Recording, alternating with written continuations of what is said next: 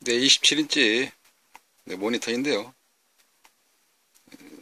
이쪽에 입력 전원이 아다터 방식으로 되어져 있거든요. 여기에 보시면 누렇게 녹슬듯이 되어 있죠. 근데 이게 안 빠진다는 겁니다. 이걸 아무리 잡아 빼도 어, 잘 빠지질 않아요. 근데 그분 말씀에 얘가 용접되다시피 해서 달라붙었답니다. 이거를 막 흔들어도 빠지질 않아요. 보셨죠? 이 용접돼서 달라붙었다는 겁니다. 그렇죠. 어떻게 해야 되냐고. 당연히 고쳐야죠. 어떻게 하긴요. 알겠습니다. 일단 좀 어느 정도 주변에 손상이 좀 될 수 있긴 있는데요. 저도 빼면서 말씀을 좀 드리고 어 저도 요즘 말로 친구간에 대화하듯이 네, 용을 좀 써봐야 될 것 같습니다. 네, 그 뒤에 다시 포장을 뜯고 네, 카메라를 들이대도록 하죠. 네, 덮개를 열고 네, 바라보는 모습은 내부 어, 형태가 이렇게 구성이 되어져 있는데요. 음, 이쪽에 아답터죠. 아답터에서 어, 일단 뺐습니다. 우리말로 확 잡아채듯이 뺐어요. 안에서 딸려져 나오네요.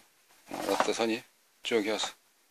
그러면 이쪽에 열어봐야 되겠습니다. SMPS 보드라 그러죠. 네, 전원공급 보드를 살펴보고 아마 패턴 작업도 좀 해야 될 것 같습니다. 이 잡아 흩쳐져 나오기 때문에. 이쪽 부분인데요. 여기 부분 네, 밑에 패턴만 안 물론 이제 끊어진다 하더라도 좀 전선 같은 것도 있듯이 해서 하면은 예, 노동의 가치로 아마 수리가 좀 되지 않을까라고 생각이 되어집니다. 그래도 에, 우리가 일반적으로 자가 수리를 할 때에 이런 정도는 인두기 하나 있으면은 있는 거 전선이 있는 거니까 이거 떼내고 있는 거 예. 물론 이제 이쪽에 음으로 되어 있는 거 아다터 음으로 되어 있는 단자가 하나 있어야 되겠죠. 근데 여기는 부러진 거 빼내고 다시 하나 이렇게 꽂았습니다.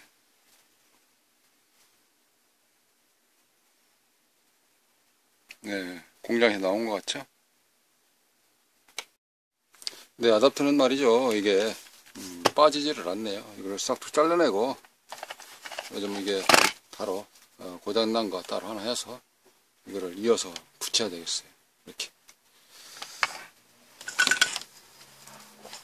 끝에를 바짝 자르고, 이거, 이걸 거는 이건 버리고요. 그리고 이걸 이렇게 이사야 되겠습니다. 이런 식으로. 그럼 여기를 끊어야 되겠죠. 끊고, 수축팁을 해서 깔끔하게.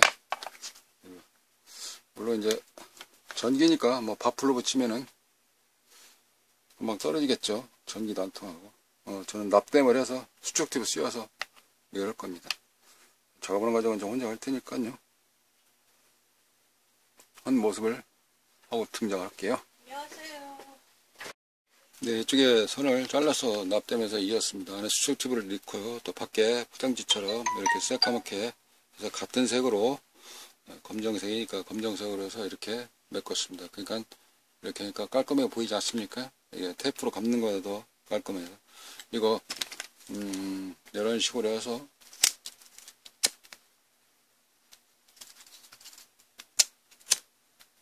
열로 수축이니까 오므려든다 그런 뜻이니까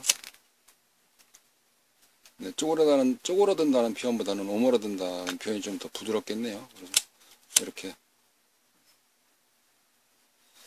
쭈글쭈글 하는 것이 아니라 오므라들어 가지고 이렇게 됐습니다.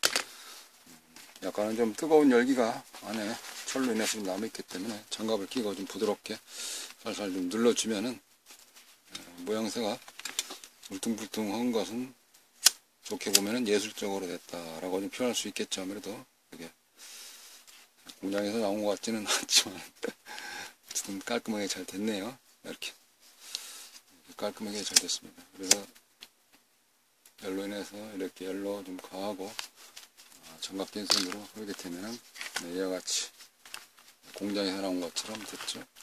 어, 직접 가까이 보면 이제 좀 울퉁불퉁하지만 조금 멀리 떨어진 상태에서는 모양새 그래도 잘 빠졌네요. 네. 이제 울퉁불퉁하다가 보이는 거 어, 보면은 표시가 안 나죠. 그대로 해서 데이터 캡을 같이 꽂아 놓고 그 상태에서 앞으로 넘어와서 보게 됩니다. 네, 그러면 데이터가 케이블 컴퓨터 연결되어 있기 때문에 네, 잘 나오네요. 네. 아까 이 자체가 네, 불이 안 들어왔었는데 지금 불 잘 들어오고 화면까지 잘 나오고 있습니다.